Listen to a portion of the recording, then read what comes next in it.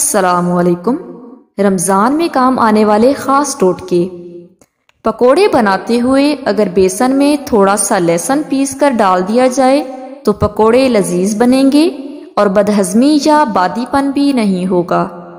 ज़्यादातर लोग समोसे इकट्ठे ही बनाकर फ्रीज कर देते हैं। लेकिन अक्सर अवकात समोसे फ्रीज़र में कूलिंग कम होने की वजह से आपस में चिपक जाते हैं। इस मसले के हल के लिए समोसे बनाने के बाद उन पर थोड़ा सा कार्नफ्लोर या मैदा छिड़क दें। इससे आपके समोसे खस्ता बनेंगे और चिपकेंगे भी नहीं। फ्रूट चाट का जायका मुनफरद बनाने के लिए, अगर आपके पास फ्रूट चाट में डालने के लिए माल्टा या खटिया ना हो तो किसी भी फ्रूट का जूस निकाल कर फ्रूट चाट में डाल दें। इस मकसद के लिए आप डिब्बे का जूस भी इस्तेमाल कर सकते हैं और फ्रेश जूस भी। साथ थोड़ा सा नींबू नचोड़ लें। एक मुनफरद जायके के साथ मज़ेदार फ्रूट चाट तैयार है। मज़ेदार फ्रूट चाट के लिए मीठे और खट्टे दोनों फलों का इस्तेमाल करें। क्रीम चाट बनाने के लिए सिर्फ़ मीठे फलों का इस्तेमाल करें।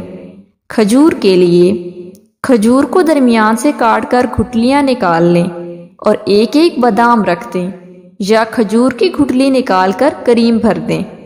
पराठे बनाने के लिए बाज लोगों से पराठा बहुत सख्त बनता है, या पापड़ जैसा बनता है। बेस्ट पराठा बनाने के लिए आटा गूंदते हुए एक चम्मच घी और चुटकी भर नमक डाल दें। आपका पराठा बहुत ज़बरदस्त बनकर तैयार होगा। पराठा ना तो बहुत हाई फ्लेम पर बनाएँ और ना ही बहुत लो फ्लेम पर। सबसे पहले तवे को अच्छी तरह गर्म कर लें, फिर पराठा डालें। अंडा या कबाब के लिए तेल में अंडा या कबाब फ्राई करते वक्त तेल पर झाग आ जाती है। उसके लिए तेल में चुटकी भर हल्दी डाल दें। झाग नहीं बनेगी। चॉपर और ब्लेंडर्स के लिए। चॉपर और ब्लेंडर्स को हर माह थोड़ा सा नमक डालकर चलाएँ। चॉपर और ब्लेंडर्स के ब्लेड्स तेज हो जाएँगे। लहसुन अदरक के पेस्ट के लिए। लहसुन अदरक के पेस्ट को ख़राब होने से बचाने के लिए पेस्ट में थोड़ा सा ऑयल डाल दें। पेस्ट कभी ख़राब नहीं होगा। और अगर अदरक लहसुन का पेस्ट सबज हो जाता हो तो थोड़ा सा सिरका डाल दें। वक्त की बचत।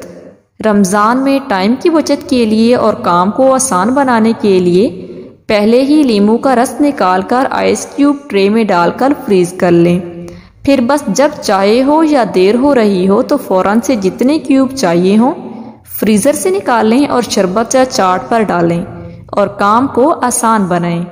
दीवारों पर लगे निशानात। अगर दीवारों पर पेंसिल या गंदे हाथों के निशानात लगे हों तो टूथपेस्ट और सिरका मिक्स करके दीवारों पर रगड़ें। निशान साफ़ हो जाएँगे। मज़ीद अच्छी वीडियोस के लिए इस चैनल को ज़रूर सब्सक्राइब कीजिए। शुक्रिया।